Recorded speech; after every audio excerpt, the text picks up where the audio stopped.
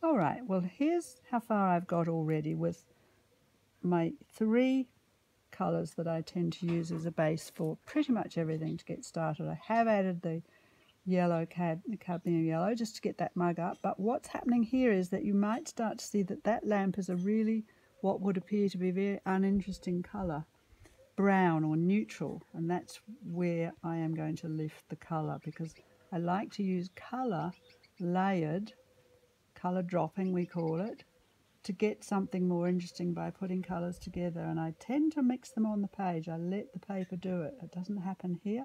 I take one of those colours and I'll do a little bit more of the darker ultramarine and I'll run it down there. I've let it dry ever so slightly so that I don't have it too wet and I'll go down that side, down that side and there's a little bit goes down there. Now what I'll do, I'll put across some red because those two colours make a really dark purpley colour and there's the red there, that's the cad red. That gets dropped on top. It just literally gets dropped on top and brought around. I'll bring it down the centre a bit. You'll start to see it looking quite dark. It needs to be dark because the rest of it is lighter. So I'll come down that side, down that side and down that side. I'll run a little line up there. Now at the moment there's some quite hard edges there but we'll soften those off.